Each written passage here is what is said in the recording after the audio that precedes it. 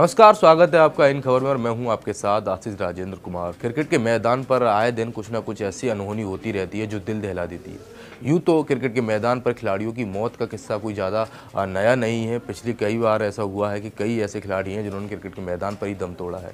इस कड़ी में एक ऐसी दुखद घटना अब सामने आई है, जिसको सुनकर कहीं ना कहीं आपको काफ़ी निराशा हाथ लगी, क्योंकि हैदराबाद में एक क्लब क्रिकेट के दौरान एक और ऐसा क्रिकेटर है जिसने दम तोड़ दिया है। दरअसल वीरेंद्र नामक एक क्रिकेटर हैं जो हैदराबाद के मारडपल्ली क्रिकेट क्लब से खेल रहे थे, उन्होंने अपनी फिफ्टी पूरी की और फिफ्टी करने के बाद जैसे ही वो पवेलियन की ओर गए और वहाँ उनकी तुरंत मौत हो गई। मामला पूरा ये था कि छियासठ रनों पर अपनी पारी को ख़त्म करने के बाद जब वीरेंद्र नायक पवेलियन की ओर जा रहे थे तो अचानक से उनका सर दीवार से टकराया उसके बाद वो ज़मीन पर गिर गए। तो सभी टीममेट्स आनंद फानंद में उनको उठाकर अस्पताल की ओर ले गए, जहाँ उनको मृत घोषित कर दिया।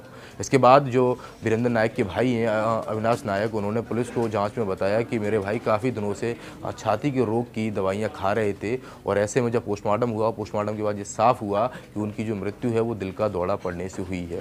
ये पहला मामला नहीं है जब हैदराबाद में किसी क्रिकेट मैदान पर किसी क्रिकेटर ने अपनी ज़िंदगी को अलविदा कहा है। इससे पहले साल, पिछले साल 2018 में 27 जनवरी को एंथनी नामक एक क्रिकेटर ने ही मैदान पर दम तोड़ा था तो वहीं पिछले साल भोपाल में भी एक अरविंद हनौतिया नामक क्रिकेटर ने लोकल मैच के दौरान जो कि डिनाइट मैच चल रहा था, उस समय अपनी ज़िंदगी को अलविदा कह दिया था। अंतर्राष्ट्रीय स्तर पर भी आपने देखा है कि ऑस्ट्रेलिया में काउंटी क्रिकेट के दौरान जो फिलिप ह्यूज थे ऑस्ट्रेलिया के बाएँ हाथ के बल्लेबाज, साल 2014 में एक बाउंसर लगने की वजह से उनकी मृत्यु हो गई थी। तो कई और सारे ऐसे वाक्य हैं जो आपने सुने होंगे या देखे भी होंगे जब क्रिकेट मैच के दौरान खिलाड़ियों की आनंद फानन में मृत्यु हो गई।